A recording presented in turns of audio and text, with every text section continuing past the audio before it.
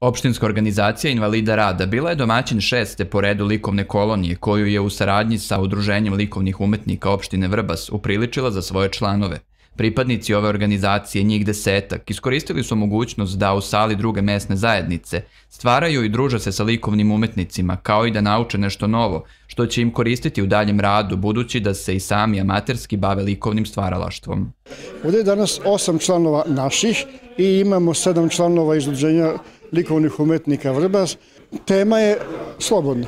Ko šta želi, važno je samo da se družimo, da nešto uradimo, da smo ovako svi zajedno na lepom jednom mestu. Evo, družimo se.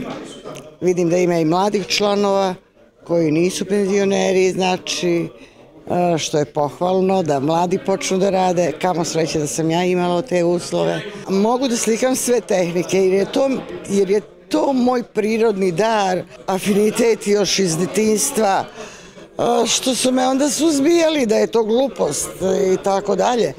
Međutim, evo sada kad sam postala penzioner, vratila sam se tom svom prirodnom talentu, tako da mogu da slikam sve, a da sam bila umetnik, onda bih bila portretista. Portreti, pejzaži, abstraktne kompozicije i drugi radovi koji nastanu na koloniji organizacije invalida rada krasit će prostorije njihove centralne organizacije u Vrbasu i mesnih kancelarija. Deo nastalih slika poklonit će zaslužnim članovima ili partnerima kao znak zahvalnosti za doprinos organizaciji. Svaka pomoć je invalidima rada izuzetno dragocena. Detaljnije o problemima članova upoznao nas je predsednik organizacije invalida rada. Među njima ima dosta onih koji nisu u penziji i primaju naknadu u visini pola invalidske penzije, što je neretko manje i od socijalne pomoći. Ovo su ljudi koji su radili, imaju 10, 15, 20, 30 godina staža i onda su spali na to da im se preduzeća zatvore, da više nemaju gde da rade i dobili su neku crkavicu, ja tako kažem, koja je toliko mizerno i nedostojno čoveka.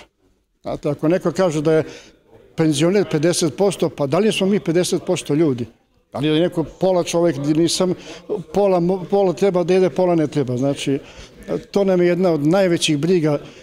Trudimo se i, i preko Skupštine Srbije, a, a opet preko našeg Savjeza rada Vojvodine i Srbije, da pokrenemo pitanje rešavanja statusa tih ljudi da što pre mogu da dobiju punu penziju, ne da čekaju 65 godina života, mnogi od njih to neće doživeti, a to su sve bolesni ljudi, niko ili većina od tih ljudi nije svojom voljom otišao na 50% invalidske penzije, odnosno da dobija tu naknadu, nego su zbog svoje bolesti izgubili su svoje zdravlje u toku rada i sad ih toliko nisko i taj uopšte ih ne cene, jednostavno to je ponižavajuće za te ljude. Iako se invalidi rada suočavaju sa mnogim teškoćama u svakodnevnom životu, aktivnost kakva je likovna kolonija omogućava im da se bolje integrišu u društvo i pokažu zajednici da im ne manjka volje i sposobnosti.